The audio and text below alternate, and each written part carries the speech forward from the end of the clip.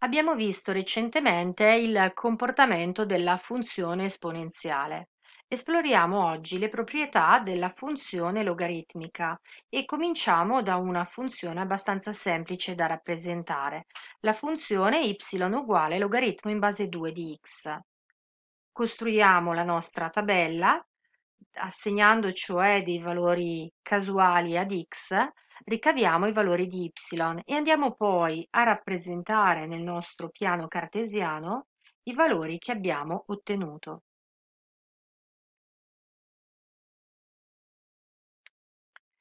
Assegniamo ad esempio ad x il valore 8. Il logaritmo in base 2 di 8 è il valore dell'esponente che devo assegnare a 2 per ottenere 8 ed è 3. Se scegliamo il valore 4, il logaritmo in base 2 di 4, cioè l'esponente che devo dare a 2 per ottenere 4, è 2. Se x è 2, il logaritmo in base 2 di 2 è 1. Se x fosse 1, il logaritmo in base 2 di 1 sarebbe 0. E poi, se x fosse un mezzo, il logaritmo in base 2 di un mezzo sarebbe meno 1. Se x fosse un quarto, sarebbe per y meno 2 e con un ottavo meno 3.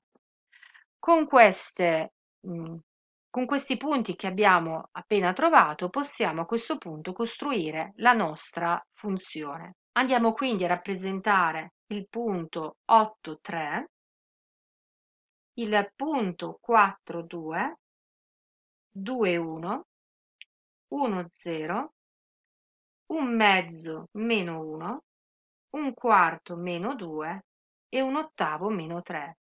Uniamo poi questi punti.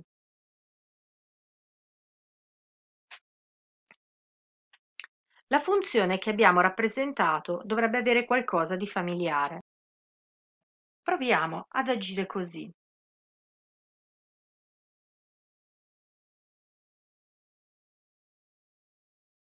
Se noi ruotiamo la nostra funzione di 90 gradi in senso antiorario, notiamo subito che in questo modo la funzione ci ricorda un andamento esponenziale.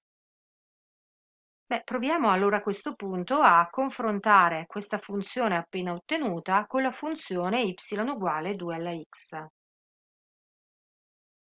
Procediamo quindi costruendo una tabella come abbiamo fatto in precedenza. Se associamo alla x il valore meno 3 otteniamo un ottavo, meno 2 otteniamo un quarto, meno 1 un mezzo, 0 1, quando la x è 1 2 alla 1 fa 2, quando la x è 2 2 alla seconda fa 4 e con x uguale a 3 2 alla terza fa 8. E andiamo a rappresentarci questi punti. Quindi se x uguale a meno 3, qua ho un ottavo, meno 2, un quarto, meno 1, un mezzo, 0, 1, 1, 2, 2, 4 e 3, 8. E andiamo a rappresentare la nostra nuova funzione, che già conosciamo. Queste funzioni hanno quindi qualcosa che le accomuna e di fatto sono molto simili l'una all'altra. Se noi andiamo a vedere la, le coordinate dei punti che appartengono a queste funzioni, ci accorgiamo che, come ad esempio questo caso e questo caso, abbiamo invertito fra di loro la x e la y. Questo ci riporta quindi ad una situazione di simmetria rispetto alla bisettrice di primo e terzo quadrante, cioè le nostre due curve sono come allo specchio, ad uno specchio in cui, e questo specchio è appoggiato lungo la bisettrice di primo e terzo quadrante.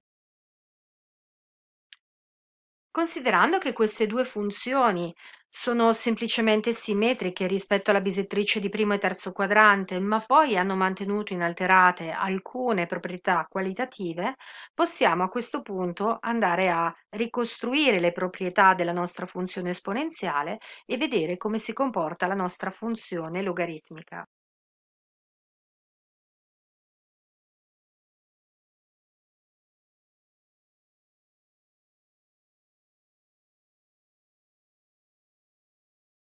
Andiamo a vedere come si trasformano queste proprietà per la nostra funzione logaritmica. Innanzitutto possiamo notare che passa per il punto 1, 0. Ma questa che abbiamo scelto, y uguale logaritmo in base 2 di x, ma vale per tutte?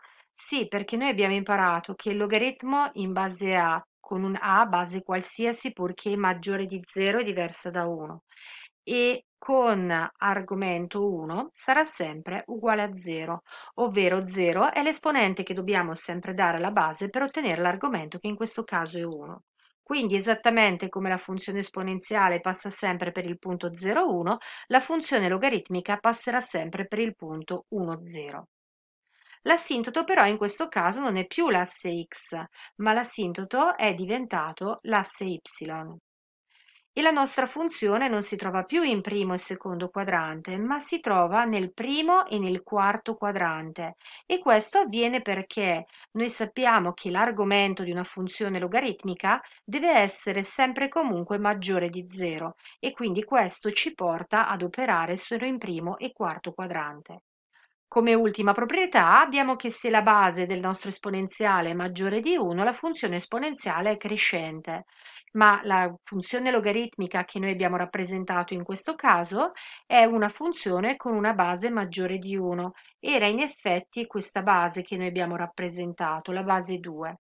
E anche in questo caso possiamo vedere che effettivamente risulta essere crescente quando la base è maggiore di 1. E questo avviene sempre e comunque, perché qualsiasi sia la funzione esponenziale che noi possiamo rappresentare qualitativamente in questo modo quando a è maggiore di 1, la nostra funzione logaritmica qualitativamente si esprimerà in questo modo. Vediamo come cambiano le cose invece quando la base è minore di 1. Consideriamo ad esempio una funzione esponenziale con base un mezzo quindi y uguale un mezzo alla x. Quindi sappiamo che se x è uguale a 0, la nostra funzione assume valore 1. Se x è uguale a meno 1, allora y è 2. Se x è uguale a meno 2, y è 4. E se eh, x è uguale a meno 3, y è 8. Da questa parte invece se x è uguale a 1, y è un mezzo, se x è uguale a 2 allora y è un quarto e se, y, se x è uguale a 3 avremo che y è un ottavo. Quindi la funzione che otteniamo, come sappiamo, è in realtà decrescente. Ma noi abbiamo detto che nel nel confronto tra la funzione esponenziale e la nostra funzione logaritmica, queste risultano essere ehm, simmetriche rispetto alla bisettrice di primo e terzo quadrante e quindi vorrà dire semplicemente che dovremo scambiare fra di loro la x e la y. Proviamo a vedere se questo realmente funziona. Questo punto si sposta qua, questo si sposta qua, in questo modo e a questo punto questo va qua, ovvero sembrerebbe che l'andamento della nostra funzione logaritmica debba essere questo, mentre quello della funzione esponenziale risulterà essere questo. Beh, proviamo a vedere.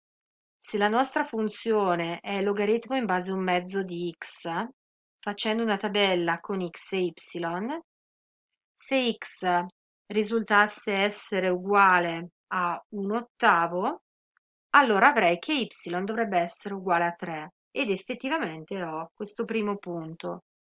Con x uguale a un quarto, y dovrebbe essere 2 con x uguale a un mezzo, y dovrebbe essere uguale a 1. Con x uguale a 1, y risulterà essere uguale a 0. Con x uguale a 2, allora y sarà uguale a meno 1. Con x uguale a 4, y sarà uguale a meno 2. E infine con x uguale a 8, y sarà uguale a meno 3 e questo qua ricalca effettivamente il grafico che abbiamo appena rappresentato. Quindi il rapporto che esiste in questo caso fra la funzione esponenziale e la funzione logaritmica è sempre espresso da questa simmetria rispetto alla bisettrice di primo e terzo quadrante.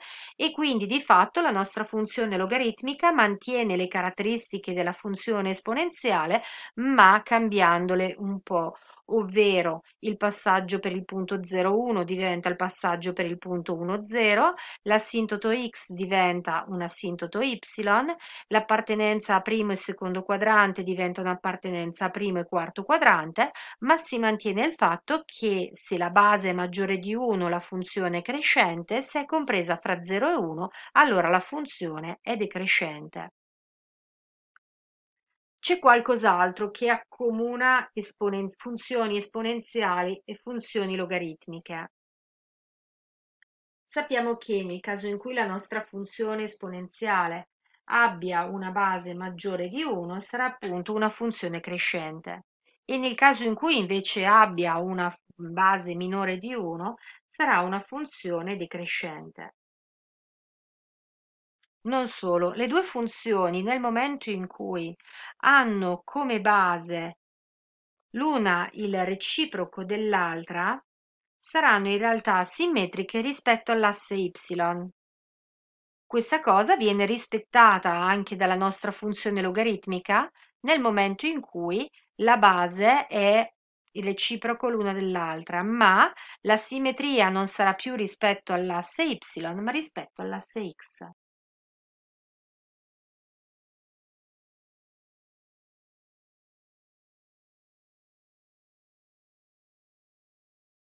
Vedremo che le somiglianze non finiscono qui.